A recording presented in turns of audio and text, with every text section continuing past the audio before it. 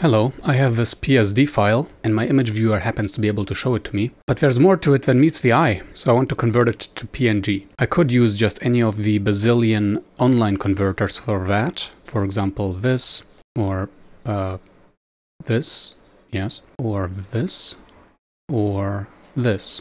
Alright, so this is what I get from three of these. One, two, three. They do look identical, but it even has a white background. I want transparent background. Now Zamzar is more interesting. It converted all the layers. Let me download the zip file of that.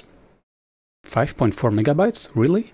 The PSD, by the way, is 11.2. So this one actually exported a lot of stuff, but wow, the layers are weirdly named. But this is actually a method you can use, but I want to be able to do this offline and with exact control which layers get exported.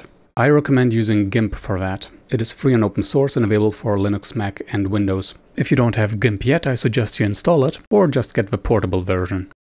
So I'll just drag the PSD file into GIMP, and first of all this one has a transparent background, and second of all I can control all the layers here. So here I can turn on and off all the various bits and pieces of this character, and there are also layer groups I can unfold and customize. For example, in this one I can pick the hair color. I can change the clothes as well. And uh, let's fix that background hair as well. Yeah, like that. And I can also control the background here. And once I'm ready, I can just right click, go to File and Export As. And I'll just call this outfit1.png and export and export again. And here it is.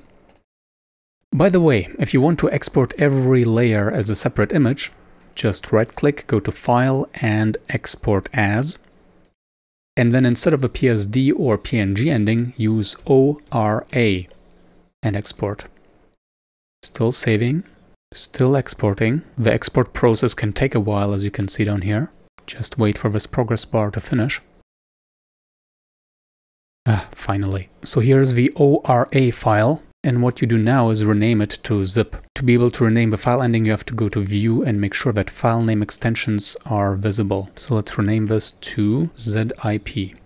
And yes, and then right click and extract all and extract. And in here we have thumbnails, an XML file that contains things like position, and then we have the layers themselves, better names, but still kinda useless if you need the exact position of, for example, the glasses. Let me know if that didn't resolve all the problems you might have, and I hope to see you next time.